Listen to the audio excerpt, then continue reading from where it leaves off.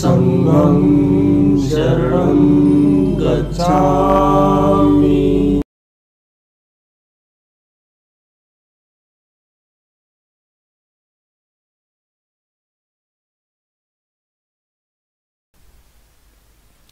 हाँ तो आ गए तुम उस पे? हाँ आ गया। हाँ तो अब देखना इस क्वेश्चन में हमें क्या बोला हुआ है? इस क्वेश्चन में ना हमें ये बोला हुआ है कि हमारे पास जैसे एक फ़ूड एग्ज़ाम्स है ये प्रॉब्लम में बोला हुआ है कि हमें जैसे ना एक स्टूडेंट है उसको अपने एग्ज़ाम्स क्लियर करने हैं है ना?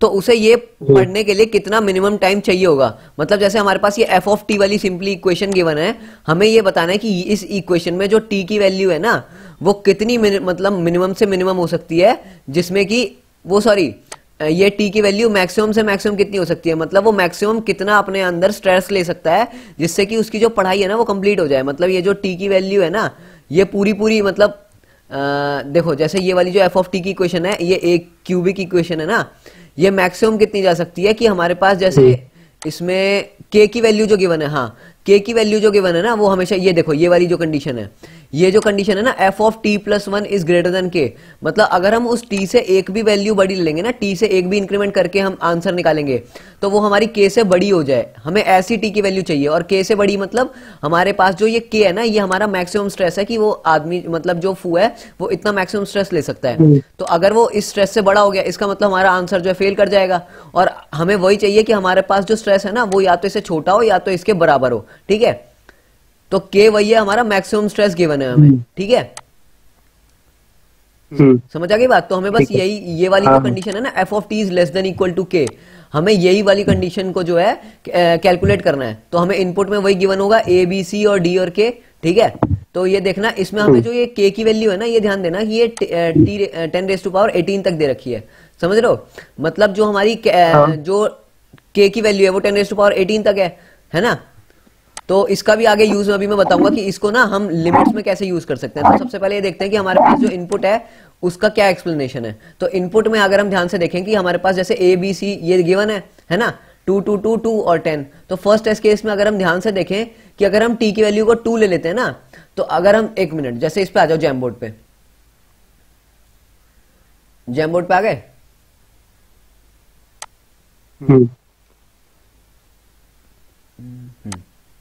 तो थर्ड पेज पे आ जाओ। आ गया। आ गए तो अभी देखना हमें जैसे इसमें दे रखा है ये चीज़ ठीक है? और क्या दे रखा है? एक minute. Ten A B C D और के ठीक है? तो हमें इसमें ये दे रखा है कि ये ए है ये बी है ये सी है ये डी है और ये क्या है? के ठीक है? ये टेन गिवन है इधर। तो हमें क्या बोला हुआ है कि हमें ना जैसे ये चीज़ निकालनी है कि A T cube plus B T square plus C D ठीक है? प्लस टी और ये जो वैल्यू होगी ना, ये हमारी क्या होनी चाहिए? ये हमेशा कम या फिर उसके बराबर होनी चाहिए के के, ठीक है? तो अगर हम इसको ध्यान से देखें तो ये सारी वैल्यूज़ टू है।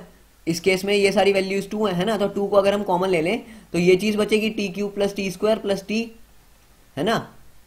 और प्लस वन ठीक है?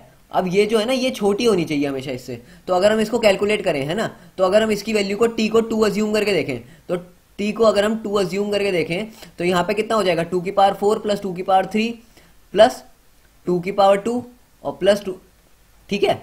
अब अगर हम इसको कैलकुलेट करें तो ये कितना बनेगा? टू की पावर फोर कितना होता है? सिक्सटीन ठीक है? अगर हम यहाँ देखें तो ये कितना बनता है? Sixteen plus eight plus four plus two ठीक है? तो ये कितना हो गया? सिक्स ये हो गया कितना? फोर्टीन और अगर हम इसको ध्यान से देखें तो ये तो बड़ा बन गया ना हमारे पास इससे टेन से। समझ रहे हो? तो हमें इसी की हमें मतलब वो वैल्यू चाहिए जो कि इससे छोटी बने। तो अगर हम टू नहीं बना सकते तो हम इससे छोटी वैल्यू लेंगे। तो अगर हम टी को वन ले लेते हैं तो हमारे पास क्या वैल्यू बनेगी? ये हमारे पास फोर बनेगा, है ना? फोर इंटू में टू बनेगा तो ये एट बन गया तो ये less than equal to ten हो गया ना। तो इस केस में हमारे पास ये जो वन है ये पॉसिबल आंसर है ठीक है? ये बात समझ आई? हम क्या कैसे निकाल रहे हैं मतलब अप्रोच में?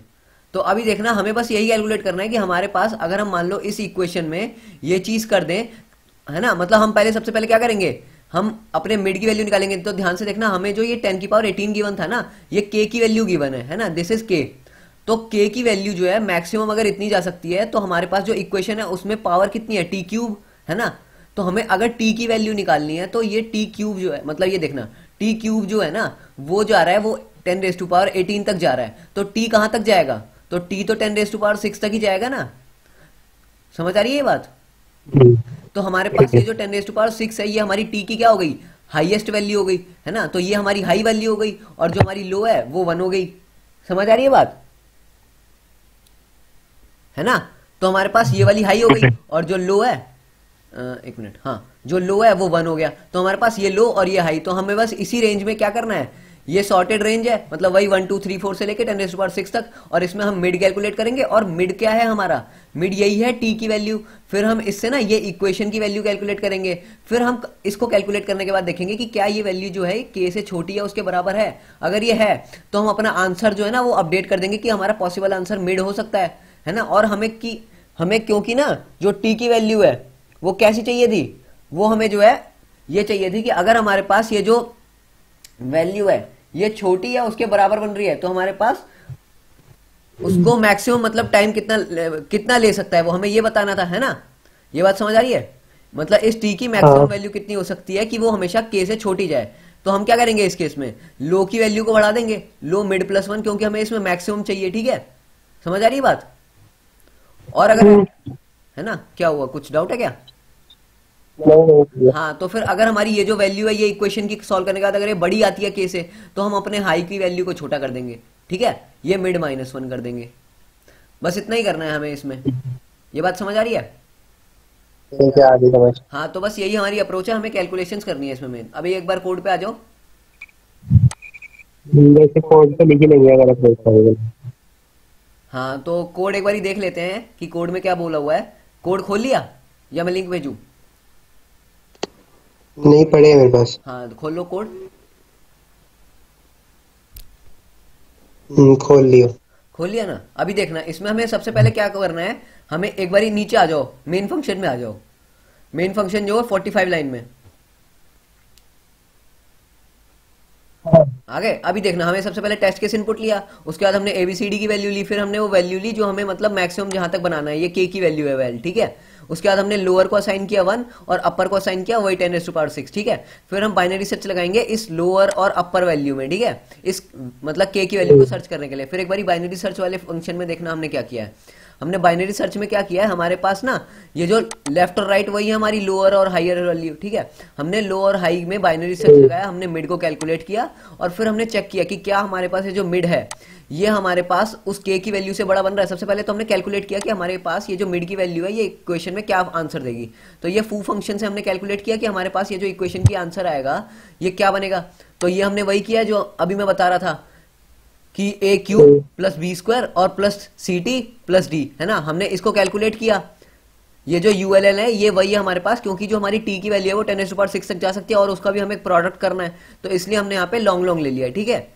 ये बात समझ आ रही है? हमने यहाँ क्यों लिया है और वो भी केवल इसी में लिया है है है। ना? तो बस हमने इस इक्वेशन को कैलकुलेट किया और फिर हमने कंपेयर किया। इस फू फ़ंक्शन में अब नीचे आ जाओ उसी में ही। ये जो हमारा बाइनरी सर्च था फिर हमने ना इस फू फ़ंक्शन को निकालने के बाद इस टेम्पररी वैल्यू को कंपेयर किया कि क्या हमारी ये जो वैल्यू है ये मतलब सबसे पहले तो नीचे वाली कंडीशन में देखो। ये 35 कंडीशन में देखना फ़र्स्ट इफ़ कंडीशन में कि हमारी अगर ये वैल्यू टेम्प वाली अगर ये छोटी है उससे बराबर बन रही है तो ये हमारा पॉसिबल आंसर हो सकता है। या तो ये दोनों बन जाए मतलब एक तो अगर ये छोटी और बराबर बन रही है है ना?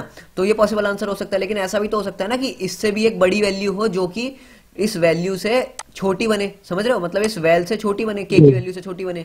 तो इसके लिए हमने क्या किया है? हमारे पास हमने चेक किया कि हमारे पास अब जो नेक्स्ट वैल्यू आएगी ना ये जो फू फ़ंक्शन मैंने इधर किया है और के वैल्यू के बाद ये जो फू फ़ंक्शन है ना ए बी सी डी और मिड प्लस वन फिर मैंने मिड प्लस वन में भी उसी में ही कैलकुलेट किया है कि एक तो ऐसा होना चाहिए कि ये जो हमारी टेम्प की वैल्यू आई है मिड वाली एक तो ये छोटी होनी चाहिए और जो मिड प्लस वन अगर हम कैलकुलेट करें ना तो वो हमारी वैल्यू से मतलब के की वैल्यू से बड़ी होनी चाहिए। अगर ये दोनों कंडीशन सेटिस्फाई करती हैं तभी वो हमारा क्या होगा? वो हमारा मैक्सिमम पॉसिबल आंसर होगा टी का जो कि के की वैल्यू से छोटा है। समझ आ रही है बात?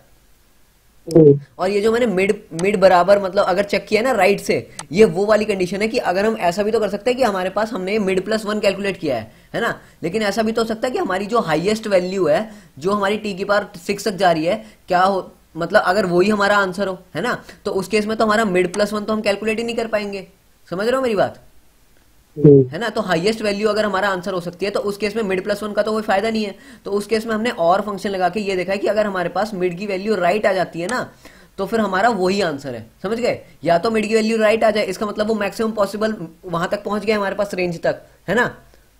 और या फिर ऐसा हो जाए कि हमारे पास जो वो मिड प्लस वन है वो उससे बड़ा हो जाए है ना? और ये कंडीशन तो है कि हमारे पास जो मिड है वो उससे छोटा है। समझ रहे हो मेरी बात? है ना? तो बस हमें यही करना है कि हमारे पास अगर जो ये कंडीशन ट्रू हो रही है कि मतलब मिड भी सेटिस्फाई कर रहा है और मिड प्लस वन भी सेटिस्फाई कर रहा है। मतलब मिड जो है वो छोटा बन रहा है और मिड प्लस वन जो है बड़ा बन रहा है। तो उस केस में हमारा आंसर मिड हो जाएगा। वरना हम क्या करेंगे? नेक्स्ट इफ़ कंडीशन में हमने क्या किया है कि अगर हमारे पास ये जो टेम्परेरी की वैल्यू है अगर इक्वेशन की वैल्यू बड़ी आ जाती है तो फिर तो हमारे पास फ़ायदा नहीं है ना? हमें तो छोटी वैल्यू चाहिए थी मैक्सिमम पॉसिबल तो हमने क्या किया? अपनी रेंज को कम किया मिड माइनस वन करके ठीक है? और अगर छोटी आ जाती है वैल्यू तो हमें मैक्सिमम पॉसिबल टी की वैल्यू चाहिए थी तो हमने लो की रेंज को बढ़ा दिया। ठीक है? ये बात समझ आई? हम्म, तो बस हमें बस इसमें यही करना था और फिर लास्ट में हमने क्या किया? बाइनरी सर्च की वैल्यू निकाल के और हमने आउटपुट कर दिया उस वैल्यू को। ठीक है? हाँ तो अगर इस कोड में कोई डाउट है तो पूछ लो। ये देखो हमने मतलब यहाँ पे अगर हम इस कोड को कंपाइल करेंगे ना तो ये ये सारी हमारी इनपुट है और यही हमारा आउटपुट है जो हमें क्वेश्चन में गिवन था। ठीक है ना?